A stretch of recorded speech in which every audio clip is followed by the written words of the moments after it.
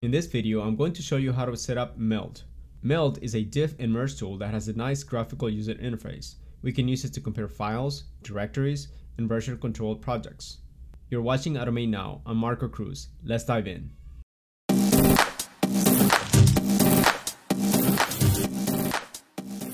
And the first thing that we're going to do is to download Meld. So let's go ahead and look up Meld download.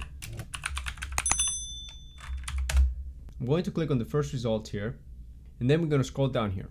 I'm using Windows, so I'm going to select this right here, Meld 3.20.4.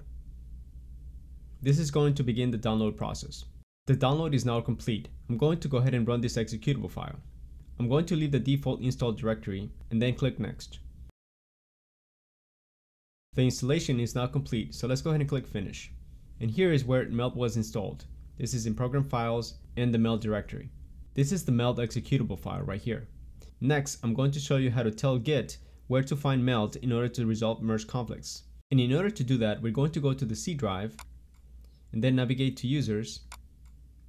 And then you click on your name and you're going to find a file called git config. This file gets placed in this directory anytime you have git installed on your system. Let's go ahead and open this file. And this is what the file may look like when you open it. And all it has right now is some user information. Next, we're going to need to add the following. Let's begin at the first line. And first, we use this diff. And what this says is that we're going to use a tool called meld whenever we're comparing files. And then we're giving it the path of where this tool is located. Recall that meld was installed in this directory right here.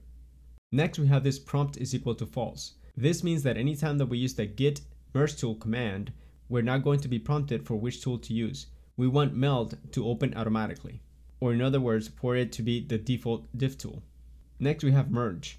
And this is saying that we also want to use meld as a merge tool. And again, we provide the path for the merge tool. And lastly, we say that we do not want to keep backup files. So by default, anytime that we have a merge conflict, Git will save a backup of the conflicted file. In our case, we're saying that we do not want to keep those backup files. Let's go ahead and save these changes. And that's all you really need to do in order to set up Meld. Now, let's go ahead and verify the installation. And this is a project that I have created for automation purposes. And this is a Git project. I'm going to right click here and say git bash here.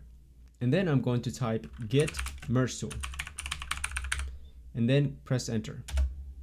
And you should see it something like this that says no files need merging. In my case, I don't have any files to merge at this time or any merge conflicts. That's why we're not seeing meld open up.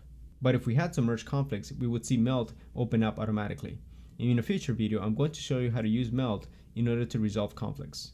So if you get some other message here that says that the merge tool is not set up properly or it hasn't been configured, please rewatch this video to make sure you didn't miss anything. Also feel free to leave your questions and comments in the section below. Thanks so much for watching Automate Now. I'll see you in the next video.